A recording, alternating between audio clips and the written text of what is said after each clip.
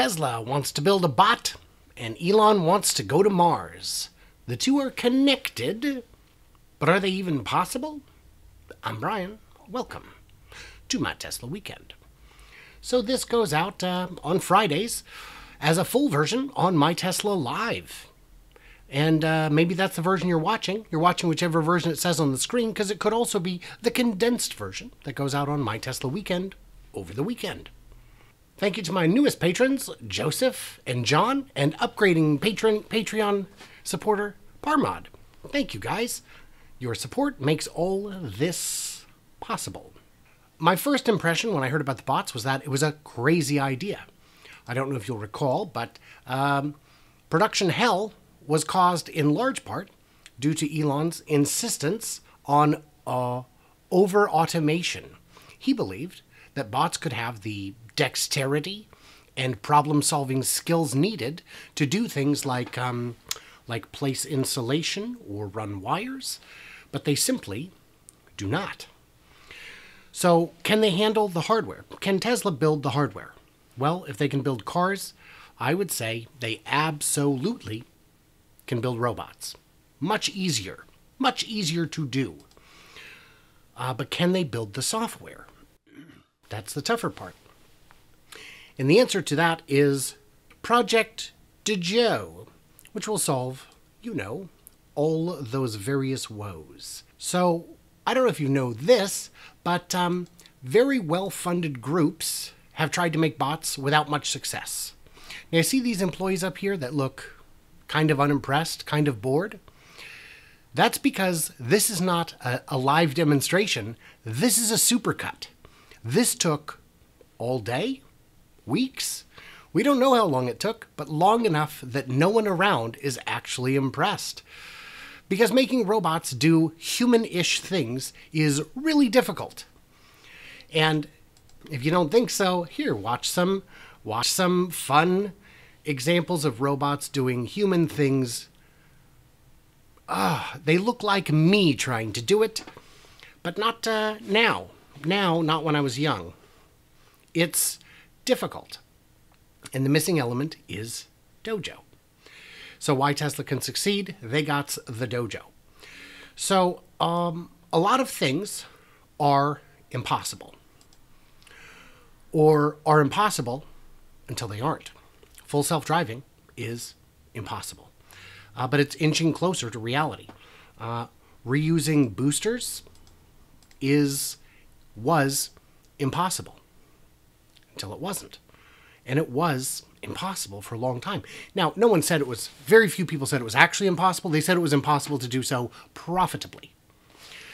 For that matter, digging a transit tunnel at 70% off is impossible. They can do that. Starting a car company is impossible. Starting a space company is impossible. Many things are impossible. Human powered flight is impossible. of course it is. All these things are impossible. So, the first thing is dexterity.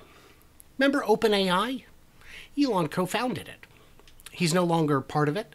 Uh, I believe uh, the rumor I heard was that he'd stepped back because there was um, a conflict of interest between his autonomous vision with Tesla and this. Look at that dexterity. So, dexterity and grip strength appear, if not solved, solvable. So, let's talk about the value of self driving.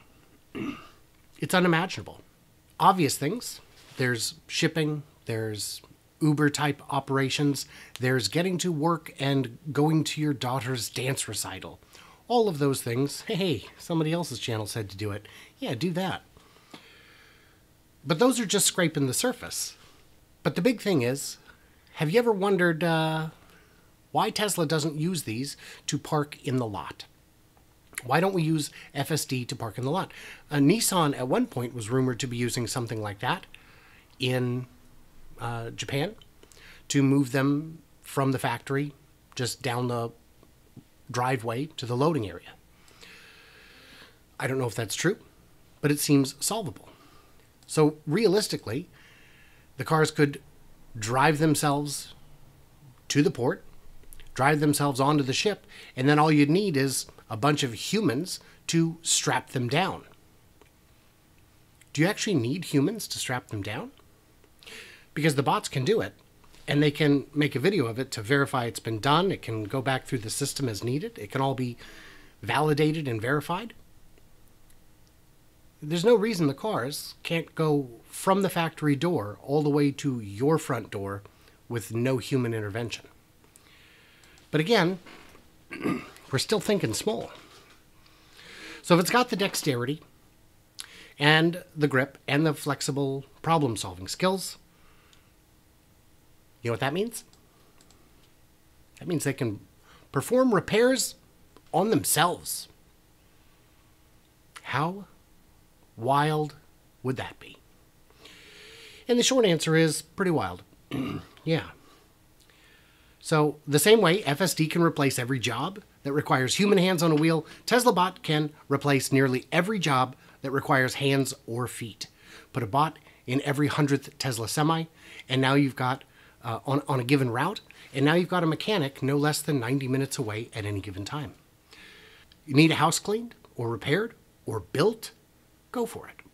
Why can't a gigafactory 10 years from now be built, at least in part, by Tesla bots? But we're still thinking small.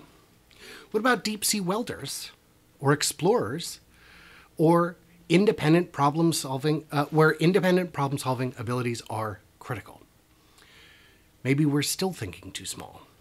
You know, do you need a do you need a construction crew for a habitat on another planet? Now we're getting up to Elon speed. So why don't we take a break from that? Let me see what this is. And do some math. You guys know I love my math, right? What is FSD worth? A hundred grand? Elon seems to think it might be. I disagree. I think it's worth less than that. I think it will be commoditized at some point. So, um, well, you could get yourself a part-time driver. That'd be ten thousand a year or a real chauffeur, that'd be 30,000 a year. Semi truck driver, 30, 40, who knows, 50,000 a year. Depends on the route, depends on a lot of factors. So what kind of money are we talking about here? Well, as of today, there's about 2 million units available to get FSD, and the current take rate's only about 10%, so of course that means 1.8 million still available. So the total addressable market, just for the vehicles already on the road, at 12,000 would be 21 billion dollars. yeah, there could be a 21 billion dollar flip the switch moment with Do- when Dojo cracks level 5. Which you know, from the people uh, using it, they feel confident that's a thing that can happen. And what about at 15,000? Well, 27 billion. Well, not everyone's going to take it. No, but the money's there. And so if someone comes to you and offers you 20, 30,000 over what you paid just so they can get yours to enable full self-driving, a lot of a lot of buyers might uh, take that. Well, you know, we might just well, what about the subscription? Subscription's good. 360 million dollars a month. 27 billion. Well, uh, at a 10 times uh, earnings multiple, that'd be a quarter trillion dollars a year in value. And considering you add, uh, you keep increasing production, production will hit 2 million, not this year, probably next year, and continue climbing from there. That could be 27 to 50 to 100 billion a year in FSD revenue. It doesn't take much more than the 10 times multiple, something like a 20 times multiple, to get to a trillion dollars in value just in FSD. So there's only two potential dooming factors I see. One is that Dojo doesn't solve the problem, or that somehow it's genuinely unsolvable. I believe it can, it's a matter of time, and that FSD remains, you know, let me get back over to here. Right now, uh, the bot, solving for the bot, is not the big deal. Uh, right now, it's all hands on deck, and we've got to solve that. But bots can do kind of anything. The other potential dooming factor is the price, or rather, the value of the bot. So, for a million dollars, you can get a bot that can dance sometimes pretty well, I guess. That's not a great value to me. There's no market for million dollar dancing robots that I'm aware of. But they do have the little dogs. SpaceX even has one. And at 50,000, they're able to sell them. I think a humanoid robot with human type problem solving skills would be worth more than that. But how much more? 20 hours a day times five years. That's 36,250 hours. With a guest to cost, which is a very scientific term, say 100 grand, that puts the cost of your bot at $2.74 an hour. You think people will buy that? Does 100,000 sound too high? So what is the addressable market? Well, I would argue it's at least 60 million. It's tens of millions for sure. It's potentially hundreds of millions. It just kind of depends. So let's say we build a factory or series of factories that can output a million a month. At a five year life cycle, that just keeps a 60 million churn. And why do I think you can sell a million? Because there are that many use cases and they will always be there.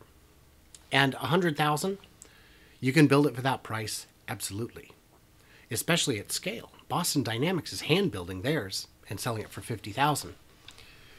The hardware will keep getting cheaper. It's like a first generation console. They put the overpowered chips in it, knowing that next year they'll make a profit. And this would be kind of the same. So let's say in the early days they're only making 50,000 a unit. For a profit a month of 50 billion dollars a month. 600 billion dollars a year. This is uh, what's the name of that company uh, from Alien? Wahiti, whatever it is. That's that kind of money. So let's say the price drops to 50,000 and they're only making 20 grand. That's still 20 billion dollars a month. That's still a quarter trillion dollars a year in profit. Four times earning multiple gets you to a trillion dollars of extra valuation. So, the one thing I wanted to address is the problem with humans losing their jobs. This guy can do jobs. He's all about jobs.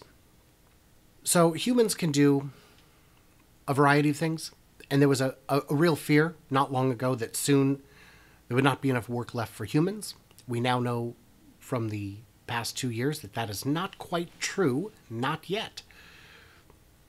But that day can come, especially with full self driving across a variety of vehicles, because driving is the number one profession in the United States, and it could soon be gone. But all jobs could soon be gone. So, what do we do?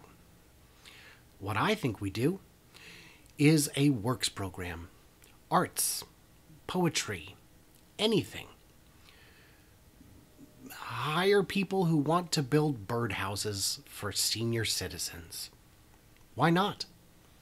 And how do we pay them?